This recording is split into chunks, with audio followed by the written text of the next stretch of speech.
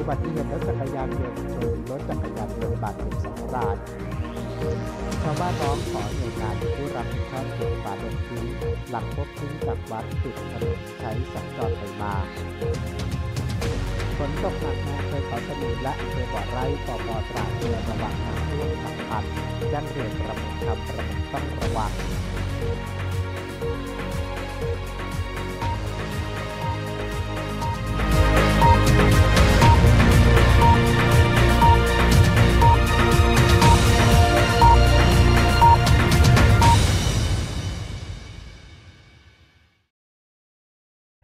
กิดอุบัติเหตุรถจักรยานยนต์ชนรถจักรยานยนต์บาดเจ็บสองราย และเกิดเหตุซ้ำซ้อนเมื่ออาสากู้ภัยหลักเกาะพบเหตุ จึงจอดอำนวยความสะดวกด้านการจราจร ถูกรถกระบะที่ขับมาทางเดียวกัน ชนท้ายรถกู้ภัยพังยับ เมื่อเวลา7นาฬิกา30นาทีวันที่ 29 สิงหาคม 2562ศูนย์วิทยุสถานีตำรวจภูธรเมืองตราดได้รับแจ้งว่า มีอุบัติเหตุรถจักรยานยนต์ชนกันมีผู้ได้รับบาดเจ็บ 2 ราย และเกิดอุบัติเหตุซ้ำซ้อนที่บริเวณแยกไร่ป่าขาเข้าตัวเมืองตราด ถนนสุขุมวิทสายตราดคลองใหญ่ตำบลเนินทรายอำเภอเมืองจังหวัดตราด ในที่เกิดเหตุพบรถจักรยานยนต์ล้มอยู่กลางถนน คันแรกรถจักรยานยนต์ยามาฮ่าฟีโน่หมายเลขทะเบียนกทช 837 ตราด ด้านข้างได้รับความเสียหาย และมีผู้ได้รับบาดเจ็บเป็นหญิงสูงอายุหนึ่งราย ทางเจ้าหน้าที่กู้ภัยได้ทำการปฐมพยาบาลก่อนนำส่ง โรงพยาบาล และอีกหนึ่งคันเป็นรถจักรยานยนต์ฮอนด้าคลิกหมายเลขทะเบียนกหข164 ตรา สภาพด้านข้างเสียหาย ผู้ได้รับบาดเจ็บเป็นชาย พนักงาน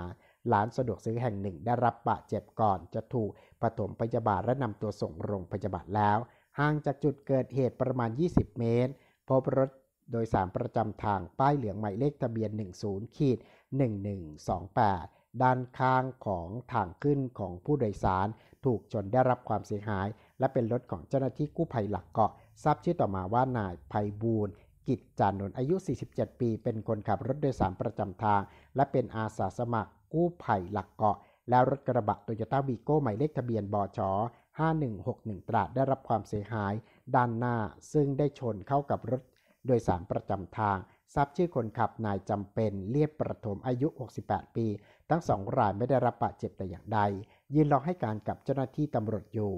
สอบถามนายไพฑูรย์เล่าว่าตนเองรับผู้โดยสารมาแล้วเจออุบัติเหตุรถจักรยานยนต์ชนกับรถจักรยานยนต์ ต่อหน้าจึงได้จอดรถเพื่อป้องกันอุบัติเหตุซ้ำซ้อน และเปิดไฟฉุกเฉินทิ้งไว้ แต่รถกระบะคู่กรณีได้ชนท้ายทำให้รถถลายไปกว่า 10 เมตร เนื่องจากปล่อยเกียร์ว่างไว้ ส่วนนายจำเป็นเล่าว่าตนเองมาทางบ้านท่าพริก เนื่องจากป่วยจึงได้เดินทางไปที่โรงพยาบาลตรา เมื่อมาถึงที่เกิดเหตุได้เห็นอุบัติเหตุรถจักรยานยนต์ชนกัน และมีรถโดยสารอยู่ด้านหลังของอุบัติเหตุ โดยที่ตนไม่ได้สังเกตว่ารถโดยสารที่อยู่ด้านหน้าของตนเอง เมื่อเข้ามาในระยะกระชั้นชิด จึงเบรกไม่อยู่จึงชนเข้าที่บริเวณด้านท้ายรถโดยสารของอาสาสมัครกู้ภัยจนได้รับความเสียหาย ต่อมาพันตำรวจตีวุฒิพงษ์ ล้อมวงร้อยเวรสถานีตำรวจภูธรเมืองตราดได้เดินทางไปยังที่เกิดเหตุ เพื่อบันทึกเหตุการณ์ในที่เกิดเหตุพร้อมสอบถามการเกิดอุบัติเหตุในพื้นที่ เบื้องต้นก่อนที่จะเชิญทั้งสองฝ่ายไปให้ปากคำเพิ่มเติมที่สถานีตำรวจภูธรเมืองตราดก่อนที่จะตกลงชดใช้ค่าเสียหายกันต่อไปชาวบ้านร้องขอหน่วยงานหรือผู้รับผิดชอบเก็บฝาลงทิ้ง หลังพบทิ้งจากวัดติดถนนใช้สัญจรไปมา ปกติเจอสารพระภูมิเก่าก็กลัวอยู่แล้ว นี่เจอฝาโลงอีกผวาเข้าไปใหญ่ เมื่อช่วงเช้าที่ผ่านมาในน้อย คางงูเหลือม ชาวบ้านตำบลหนองบอนอำเภอบ่อไร่จังหวัดตราดได้แจ้งให้ผู้สื่อข่าวทราบและพาไปดูที่บริเวณถนนด้านหลังเมนของวัดแห่งหนึ่งในตำบลหนองบอนอำเภอบ่อไร่จังหวัดตราด ตรงที่มีชาวบ้านนำสารพระภูมิเก่า แตกหักมาวางทิ้งไว้ จากนั้นปัจจุบันพบมีการทิ้งฝาโลง ลงมาจากวัดที่อยู่ใกล้กันจำนวนมาก สร้างความหวาดผวาให้กับชาวบ้านที่ขี่รถจักรยานยนต์ และขับรถยนต์สัญจรผ่านไปมานายน้อยบอกว่าถนนเส้นนี้อยู่ด้านหลังเมนของวัด พบว่ามีการทิ้งฝาลงจำนวนมากกองอยู่ ซึ่งก่อนหน้านั้นไม่เคยมีการทิ้งลงมาตรงจุดนี้เพิ่งมาพบมีการทิ้งได้ประมาณ2เดือนแล้ว ปกติชาวบ้านที่ขับรถยนต์ที่ใช้เส้นทางนี้ก็มีความกลัวอยู่แล้ว กับสารพระภูมิเก่าที่แตกหักที่มีการนำมาวางทิ้งไว้ แต่คราวนี้กลับมามีฝาโลงทิ้งลงมาด้วย จึงอยากให้หน่วยงานหรือผู้รับผิดชอบ ช่วยมาดำเนินการเก็บไปทิ้งที่อื่น และวอนขอให้ อย่านำมาทิ้งแบบนี้อีก เพราะแค่สารพระภูมิเก่าก็หวาดเสียวพอแล้ว นี่เจอฝาโลงอีก เลยหวัดผวาไปด้วย รถตู้ร่วมบขสบริษัทเกาะช้างกรุงเทพเดินรถ คุณสามารถสำรองที่นั่งได้ล่วงหน้าก่อนเดินทาง 7 วัน อนุสาวรีย์ใต้สถานี BTS อนุสาวรีย์โทร 090 818 1828 สถานีขนส่งหมอชิด ช่องขายตั๋วที่ 43 โทร 084 148 1551 สถานีขนส่งตราด โทร 039 525 222 ท่าเรือเฟอร์รี่โทร090 818 1833ก่อช้างฟังเอาสับปะรดโทร090 818 1844 สถานีขนส่งเอกมัยโทร090 818 1855 เอกมัยรถออกเวลา 6 นาฬิกา 8 นาฬิกา 10 นาฬิกา 12 นาฬิกา 16 นาฬิกา และ 18 นาฬิกา ฝนตกหนักในอำเภอเขาสมิง และอำเภอบ่อไร่ปอปอตราดเตือนระวังน้ำท่วมฉับพลันแจ้งเรือประมงทำประมงต้องระวัง นายทิตนันอุดมสุขหัวหน้าสำนักงานป้องกันและบรรเทาสาธารณภัยจังหวัดตรา ได้รับการแจ้งจากกรมอุตุนิยมวิทยาว่า ในวันที่ 28 สิงหาคม 2562 ที่ผ่านมา ได้มีพายุโซนร้อน โพดุล ที่เกิดขึ้นบริเวณอ่าวตังเกีย ในทะเลจีนใต้ได้พัดมาทางทิศตะวันตก และเคลื่อนมาทางประเทศเวียดนาม และเข้ามาทางภาคอีสานของไทย และจะเคลื่อนต่อไปยังประเทศเมียนมา ในวันที่ 30 สิงหาคม 2562 ซึ่งจะส่งผลกระทบต่อประเทศไทย จะเกิดฝนตกหนักในจังหวัดทางภาคอีสาน ภาคกลาง และภาคตะวันออกที่จะมีฝนตกหนักถึงหนักมากในบางพื้นที่ รวมทั้งมีลมพัดแรง ที่พัดผ่านด้วย ซึ่งจะทำให้อ่าวไทยตอนบน มีคลื่นลมแรง และมีคลื่นทะเลมีความสูง 2-3 เมตร ระหว่างวันที่ 29-31 สิงหาคม 2562 โดยบ้านเรือนที่ติดเข่าให้ระวังน้ำหลากและน้ำท่วมฉับพลันรวมทั้งดิ่งสไลด์ใน 3 อำเภอคือ อำเภอบ่อไร่ อำเภอเกาะช้าง รวมทั้งมีดินสไลด์ใน 2 อำเภอคือ อำเภอบ่อไร่และอำเภอเกาะช้าง เตือนฝนตกหนักขึ้นลมแรงถึงวันที่ 31 สิงหาคม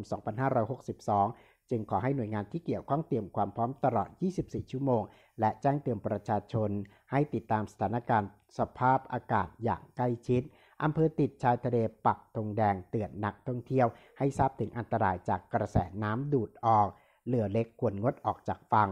ส่วนที่อำเภอเขาสมิงและอำเภอบ่อไร่มีฝนตกหนักกว่า 2 ชั่วโมงทำให้มีน้ำท่วมขัง ในถนนหลายสายแต่ไม่ได้กระทบต่อการเดินทางไปมา ขณะที่ระดับน้ำในคลองสายสำคัญ ก็มีระดับน้ำอยู่ในระดับปกติ